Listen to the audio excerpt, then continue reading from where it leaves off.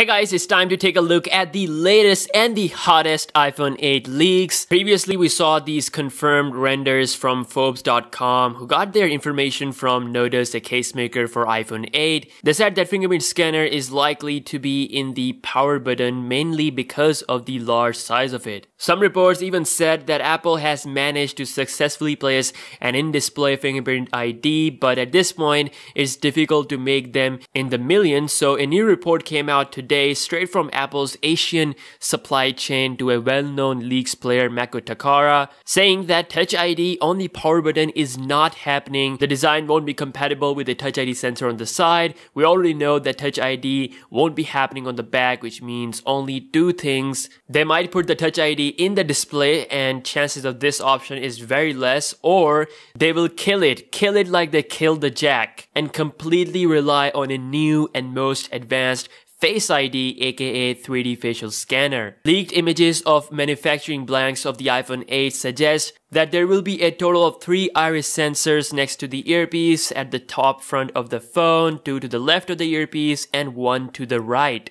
Along with a 3D sensing camera, the source also says that Apple will surprise us with this new concept of identification. Basically, the Face ID is the combination of facial recognition and iris reading in a single integrated feature. One sensor reportedly can scan in three dimensions for facial detection, while other is an advanced sensor for iris scanning. Previous reports have suggested that this